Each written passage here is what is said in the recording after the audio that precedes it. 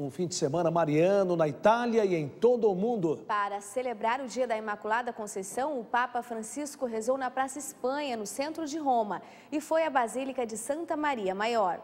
Esta é a primeira vez que Francisco deixa o Vaticano para exemplo de seus predecessores venerar a Virgem Maria na Praça Espanha, no dia em que a igreja celebra a solenidade da Imaculada Conceição. Esta homenagem aqui na Praça Espanha significa voltar às origens. Quando Pio IX proclamou o dogma da Imaculada, ele também quis colocar uma imagem de Maria na coluna mais alta da cidade, sinal de que ela olha por Roma e por todas as cidades unidas à cidade eterna pela fé.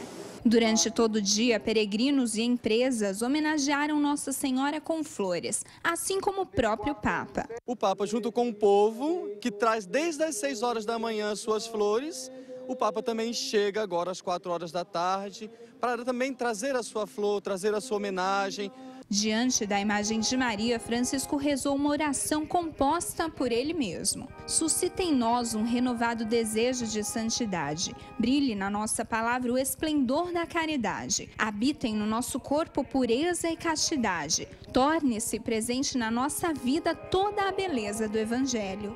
Ao final, Francisco cumprimentou os enfermos e se dirigiu à Basílica Santa Maria Maior.